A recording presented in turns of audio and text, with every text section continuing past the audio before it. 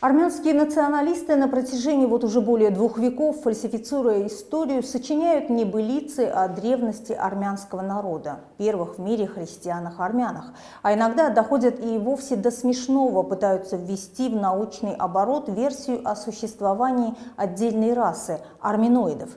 От этих самых арминоидов, по их версии, и произошли народы Передней Азии и Кавказа с так называемыми арминоидами и связывают появление тиражируемого повсюду мифа о вымышленной Великой Армении. Однако основанные на архивных материалах исследования историков доказывают абсурдность этого мифа. Причем среди ученых, опровергающих вымышленную историю так называемой Великой Армении от моря до моря, немало и ученых армянского происхождения. Они утверждают, что появление этого мифа связано с переселением армян на Кавказ. Началось все с указа Петра I об армянском народе, подписанного 10 октября 1724 года. Данный документ разрешил переселять армян на Кавказ, который по результату войн вошел в сферу влияния России. Главной целью стало создание христианского пояса вокруг границ Российской империи.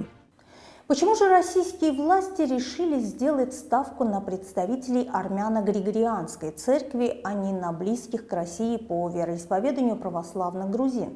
Ученые объясняют это так. Грузины, являвшиеся одним из коренных народов Кавказа, исторически имели здесь свои государства и считали себя вправе самим решать свою судьбу. Именно поэтому царская Россия была уверена, что, в отличие от грузин, переселенные сюда армяне станут послушным орудием в осуществлении ее планов. К началу XVIII века армян на Кавказе почти не было. Немногочисленные представители хайского народа жили лишь в Ичмиадине и его окрестностях. После указа Петра I ситуация изменилась незначительно. Американский историк, армянин по происхождению Барнатян, признает, что к концу XVIII века при подавляющем большинстве азербайджанцев в Ереване армяне составляли всего одну четвертую часть его населения. Процесс переселения армян перешел в новую стадию после завершения русско-иранской войны 1804-13 годов и подписания Гюлистанского договора, который привел к разделу Азербайджана. Этот план начали притворять в жизнь после захвата Еревани в ходе русско-иранской войны уже в 1826-28 годах и подписания Туркменчайского договора, создавшего юридические предпосылки для усиления процесса переселения армян из Ирана на территорию присоединенного к России Северного Азербайджана. В подготовке и внедрении проекта переселения армян, разработанного армянским католикосом Нерсесом Аштаракетци, большую роль сыграл и посол России в Иране Александр Грибоедов. Он активно участвовал в переселении армян на территорию Северного Азербайджана. Грибоедов рассматривает этот процесс как гарантию укрепления позиций России на Востоке. Подготовка к процессу переселения на местах была возложена на армянина по происхождению полковника Лазарева Егиазара Лазаряна. С этой целью в Нахчеване и Ереване был создан комитет по переселению. Армяне были заселены на лучших землях Ереванской и Нахчеванской провинций. Армянам отдали дома и земли азербайджанцев, которые в тот период находились в своих зимних домах в Гышлагах – Лазареву предписывалось переселить армянских купцов в города, чтобы они могли продолжить торговлю, крестьянам же выделить самые плодородные земли.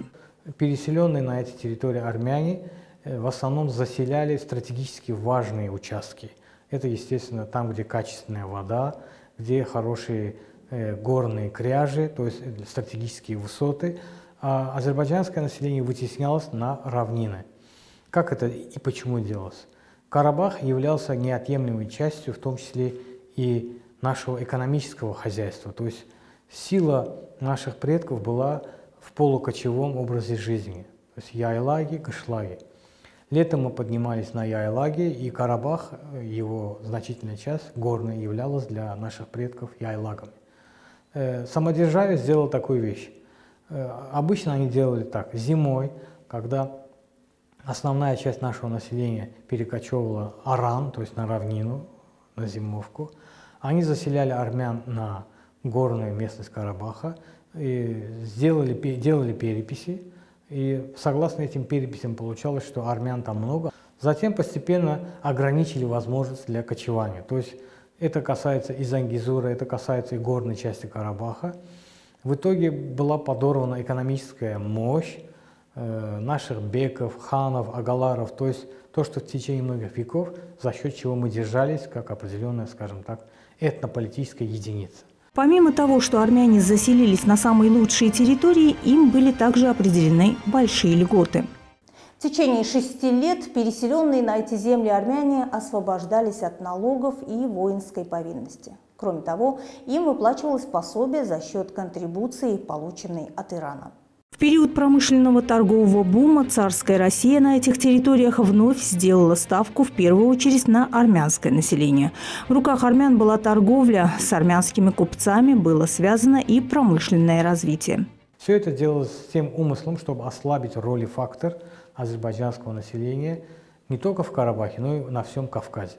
И не только азербайджанского населения, то есть различные народы, и мусульмане, и тюркские народы, они держались на этом укладе. То есть кочевое, отгонное скотоводство и яйлах, кышлах. После того, как было нарушено вот это естественный уклад нашей жизни был нарушен, армяне укрепились в этих горных отрогах, стратегически важных участках Карабаха. Зангизур постепенно оказался отрезанным от остального Карабаха. И заодно начала продвигаться такая историческая концепция, что эти земли издревле принадлежали христианам-армянам. Что, мол, мы кочевники, а значит, мы пришли сюда народ. Почему-то была выдвинута концепция, что кочевники пришли сюда откуда-то с Алтая, а значит, мы чужой элемент для этого региона. А вот эти местные народы, они издревле здесь жили, и они имеют какие-то особые права на эти земли. В конце 19-го, начале 20 века, пока здравствовали очевидцы тех событий, фальсифицировать историю было сложно – Тогда ученые, историки, этнографы, географы много об этом писали. Так, в 1911 году российский ученый Николай Шавров утверждал, что из живущих в настоящее время в Закавказье 1 миллиона 300 тысяч армян свыше 1 миллиона не являются коренным населением, а переселено царской Россией. Вытеснение азербайджанцев и поселение на их землях армян, естественно, вызывало недовольство коренного населения. Серьезные нарекания вызвало и создание в 1923 году Нагорно-Карабахской автономной области, когда была допущена историческая несправедливость. Искусственно были отделены друг от друга Нагорная и низменная части Карабаха были созданы благоприятные условия для консолидации армянского населения и нанесен серьезный удар по демографической картине региона. Переселение армян на Кавказ сопровождалось разрушением исторического наследия автохтонного на этих территориях тюркского населения. Причем уничтожалось не только исламское, но и христианское наследие Кавказской Албании. Не имевшие своей истории государственности армяне стремились уничтожить свидетельства и атрибуты государственности других народов.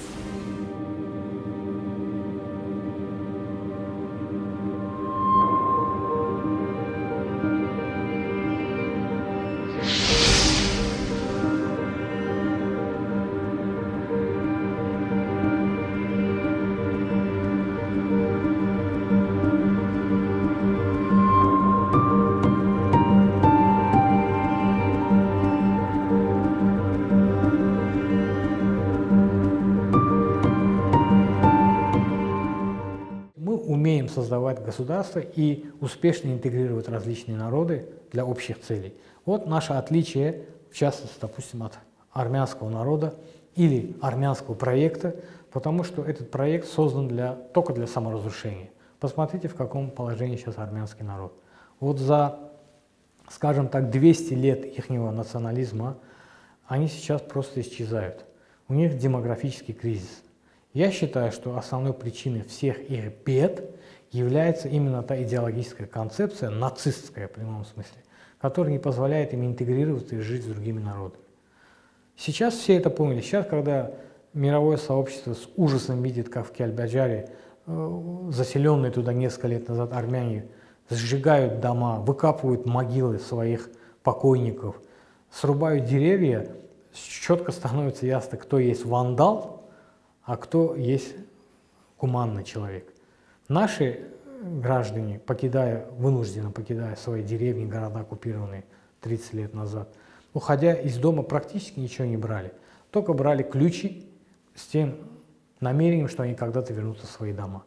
А теперь посмотрите, что делает армянская сторона. Она себя ведет как вор, который хочет скрыть свое преступление, сжигая эти дома, выкапывая трупы, потому что они знают, что они чужие на этих землях. В 1978 году армяне Нагорного Карабаха отмечали 150-летие переселения на эти земли. По этому случаю в селе Марага Агдеринского района они установили соответствующий памятник, как свидетельство этого события. Позже 1988 году армяне разрушили этот памятник, так как он служил доказательством необоснованности их территориальных притязаний на эти земли. За последние несколько веков армяне только кочевали. Они только двигались, они не смогли ужиться ни на территории Турции, ни на территории Сирии нормально, ни на территории Ирака, ни на территории Кавказа. И они описывают такой интересный полукруг от Средиземного моря под Черным морем, вышли на Кавказ и двигаются сейчас, я просто так предполагаю, в направлении Абхазии, Краснодара, Ставрополя. Это их судьба. И мы им предлагали интеграционные проекты. История предоставила армянам шанс создать свое государство на Кавказе. В 1918 году Азербайджан уступил им город Ириван и прилегающие к нему территории. Они получили прекрасную возможность жить в мире с коренными народами Южного Кавказа и созидать на общее благо. Однако этого не произошло. Постоянные территориальные претензии к соседям и этническая чистка сделали Армению моноэтнической страной с огромными политическими и экономическими проблемами. Сегодня Армения – самое слабое звено на Южном Кавказе. Она отстает от остальных государств региона по уровню развития во всех сферах. И в то же время из-за поддержки сепаратизма и терроризма по праву считается угрозой безопасности всего мирового сообщества. Ситуация не изменится, пока жители этой страны будут нацелены не на решение своих проблем и созидание, а на реализацию захватнических преступных планов армянских националистов. Пока во главе национальной идеи по-прежнему будет стоять миф о так называемой «Великой Армении от моря до моря». Создатели этого мифа уже привели свой народ к краху, выбраться из которого можно будет лишь отказавшись от своих разрушительных идей.